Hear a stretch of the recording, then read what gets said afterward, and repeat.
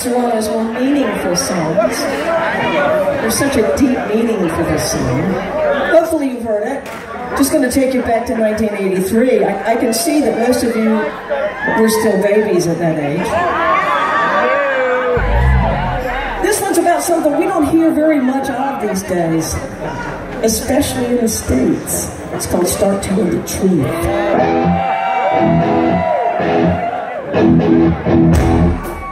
Thank you.